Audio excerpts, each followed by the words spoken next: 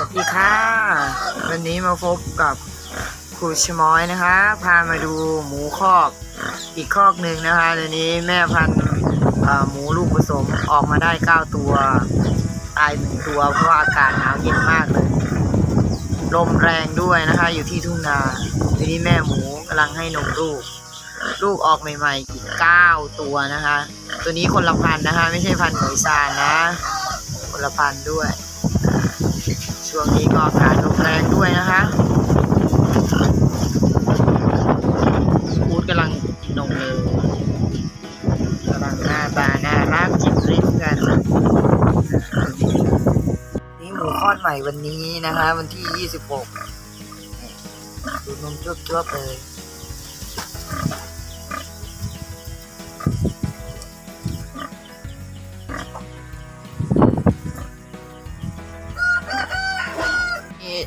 ตัวที่เก้าคือไม่รอดนะคะ ตัวสุดท้ายอากาศหนาวเย็นมาก แล้วทีนี้ก็